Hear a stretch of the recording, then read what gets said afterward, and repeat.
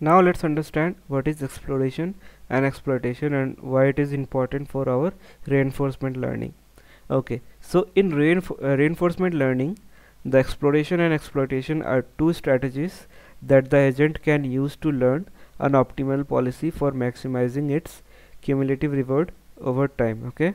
So exploration refer to the agent strategy of trying out new action to learn more about the environment so when the agent explore it take action that uh, it have not tried before or action that it has tried but not frequently. This allow the agent to you know discover new state and learn how to behave in those uh, state or situation okay? Now exploit uh, exploitation on the other hand refer to the agent strategy of taking action that it believes will maximize you know its expected cumulative reward when the agent exploits. So it uh, you know it takes the action uh, that it believe will be the best based on the current knowledge of the environment. This allow the agent to maximize its cumulative reward in the short term okay? So let's take an example to understand it better. So for example suppose an RL agent is you know learning to play game of chess okay? Initially the agent may explore different moves to learn you know about the board position and their consequences. However as the agent learn more about the game it may start to exploit its knowledge by choosing the move that it believes has the highest probability of leading it to win. If the agent only exploit obviously it may get uh, you know stuck in a sub suboptimal policy. If it never tries out new action that could lead to you know better policy. Obviously it will you know get stuck in the sub suboptimal policy. So on the other hand if the agent only explore it may not be you know able to make progress toward finding the optimal policy. Why?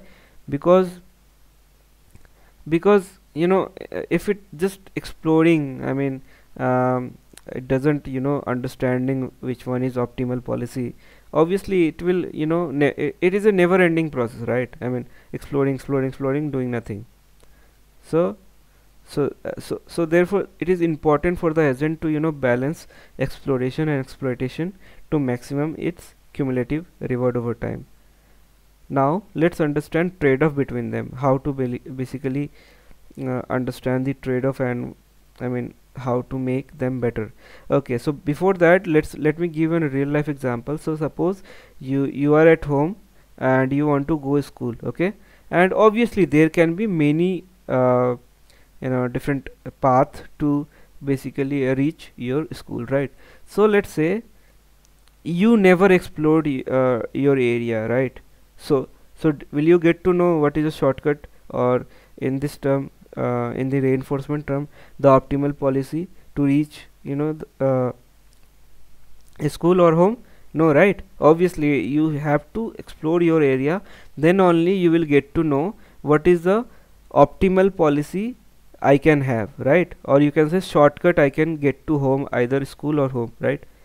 So this way uh, the exploration and exploitation uh, it is necessary to have a balance in between them now let's understand what is the trade-off between them okay?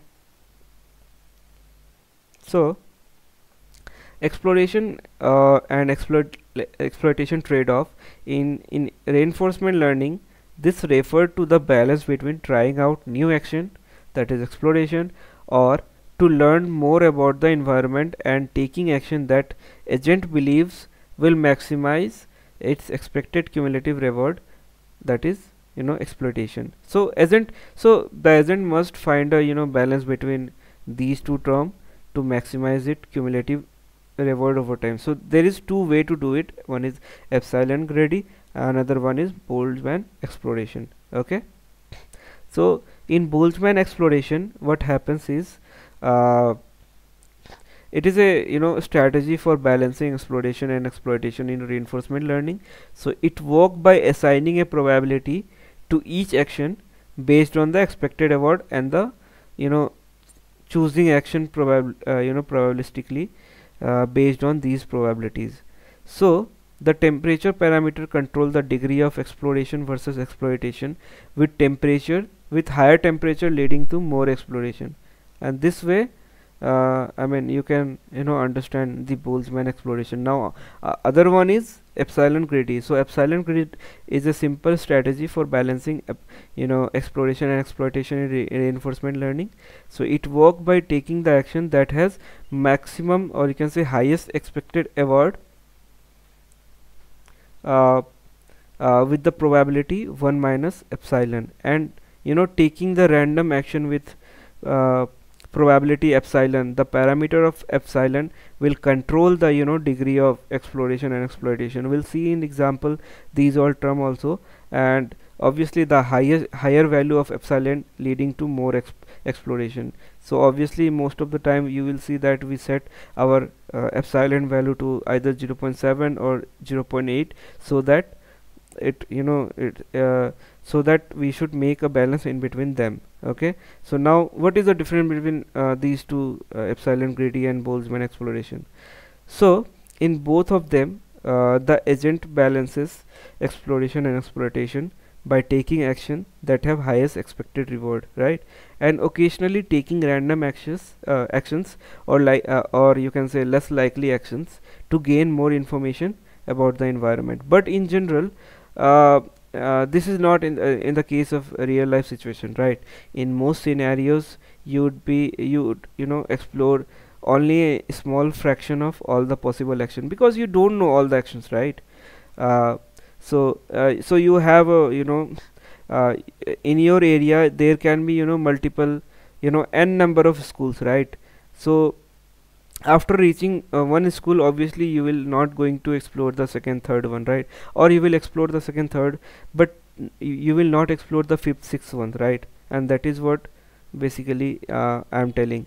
So in real life situation you will not going to know how many you know uh, uh possible uh, actions you have. You will only get to know about small fraction okay so let's say what if they uh, there exist an action there can get uh, that can get you a lottery. So wouldn't you go exploring more?